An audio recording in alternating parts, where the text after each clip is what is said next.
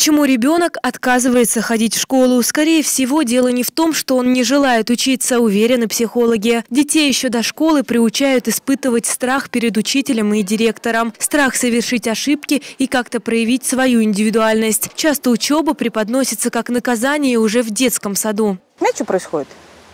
То есть вместо того, чтобы ребенка настраивать на э, интерес к учебе, на мотивацию, на желание, на позитив – учеба начинает преподноситься как наказание. А потом мы удивляемся, что происходит с детьми, почему суицидальные мысли, почему э, дети истерики устраивают. Мамам и папам необходимо прислушиваться к мнению ребенка и, начиная с детского сада, рассказывать и показывать малышу мир и объяснять, что взрослые не всегда могут быть правы. То есть показывать ребенку мир таким, какой он есть. Не э, розовые очки, да, что все люди хорошие, все прекрасно и замечательно. Что вот, к сожалению, вот оно так. Не знаю, или к счастью, или к сожалению, так устроено.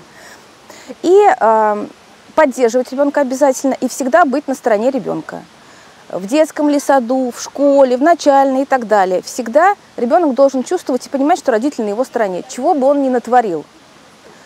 А, почему? Потому что если еще и родители на стороне учителей, тогда ребенок оказывается вообще один в изоляции и недалеко действительно до суицидальных мыслей. В последнее время все чаще дети становятся жертвами буллинга со стороны своих одноклассников и детей постарше. Нередко школьники подвергаются и насилию со стороны учителей. Никто не отменял троллинг одноклассников, которые тоже бывает в школе, э, ну как, провоцируются неграмотными педагогами когда они начинают там как-то стыдить, унижать, высмеивать и прочие нехорошие вещи делать в отношении ребенка. А одним словом, это называется эмоциональное насилие. То есть ребенок 11 лет в школе подвергается эмоциональному насилию. Если вы видите, что ваш ребенок начал замыкаться в себе и агрессивно реагирует на различные ситуации, то это сигнал о том, что нужно узнать о его проблемах в школе. Затягивать с этим не стоит. Это может привести к печальным последствиям.